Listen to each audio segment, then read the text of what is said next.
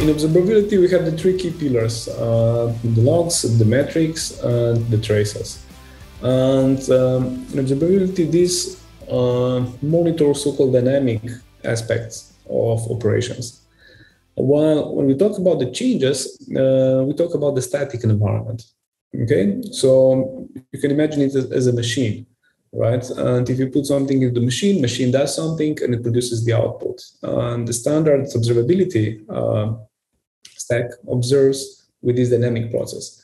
While changes talk about the parts of the machine. What happens if I replace a part of the machine? What happens if I upgrade a part of the machine? And, and how this affects the complete process.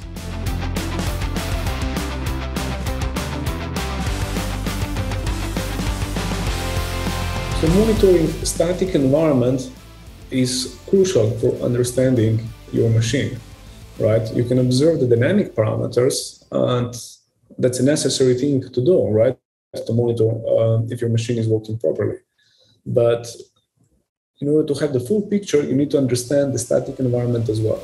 And tracking changes in the static environment is the key missing piece to get this full uh, picture.